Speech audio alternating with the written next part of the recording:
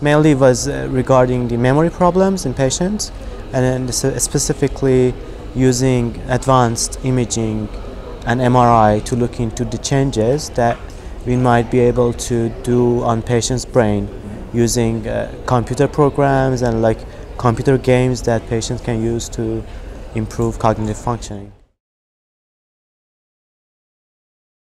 So mainly it involves first, um, from, from patient's perspectives, uh, patients needed to do some computer programs. And so the aim was to look into brain networks. And actually a brain consists of, of different networks where you can use them for memory and other tasks. So what the, the main problem for patients is uh, more than half of all patients have some kind of cognitive problems or specifically memory problems and it, it really affects their lives.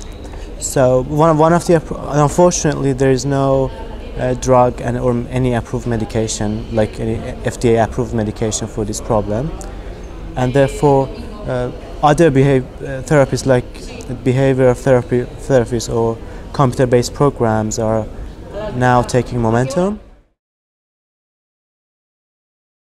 What I did was uh, we are actually looking for biomarkers to be able to monitor these changes in the brain. What I did was uh, we used functional MRI, which is a form of MRI which looks into the uh, activity of brain before and after uh, rehabilitation and the memory rehabilitation. We were looking at the connection between different brain regions.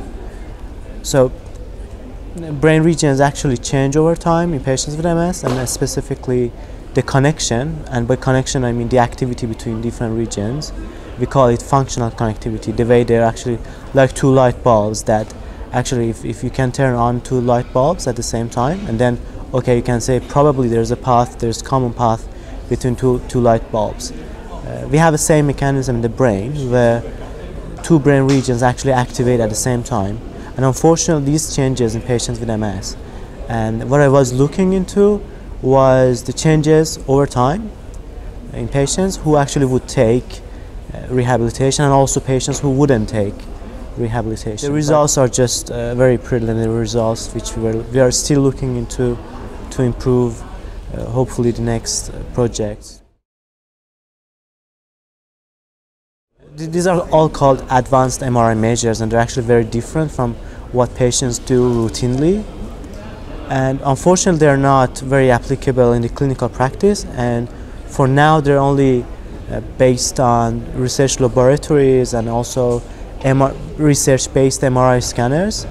So uh, it, it, could take a long time until we can actually see that patients might directly be affected. But the way we, with, which, with which we can help patients is actually to find how brain is actually affected and then look how we can change these problems.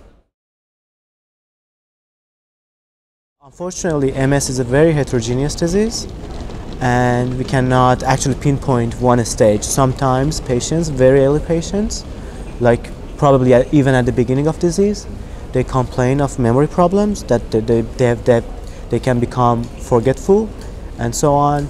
Sometimes it's, it's not an issue for a while, even for decades. So unfortunately, but usually with, with progression, the problems related to cognition show, uh, come to the surface and you can see them more. But again, because of the heterogeneity of, of disease itself, uh, it's not, but in all patients, more, more than half of all patients during the course of their disease at some point, they will complain of this problem. So it's very common. There are lots of studies, specifically over the past decade or so, and unfortunately, well, we have really good evidence in other diseases, not, not in MS, like in aging, in, in brain injuries, in a stroke, that they might be really effective. But unfortunately in MS, my results show it was effective, but I only included 27 patients. Other researchers have also used similar computer games, and some of them have been able to show improvement. Some of them have not been able to do that. And I would say the results are really controversial, and the main problem is because we are all using different approaches. So unfortunately, I cannot give you a concrete response whether this actually can be prescribed to patients or not. We, we really need more standardized approaches and perhaps a more unique approach between different centers and also probably a decade or two uh, more, more decades of research on, the, on this specific problem until we can come up with a final solution. The next stage is actually to first to include more patients, uh, to try to replicate our results.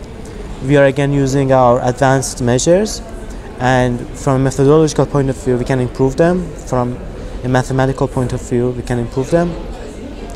And more importantly I think we still need to look at the pharmacological interventions which might unfortunately we have no pharmacological intervention for memory problems there are not in ms as, as far as i know but in alzheimer's we there are lots of trials looking into this problem and hopefully in future this could also be the case in ms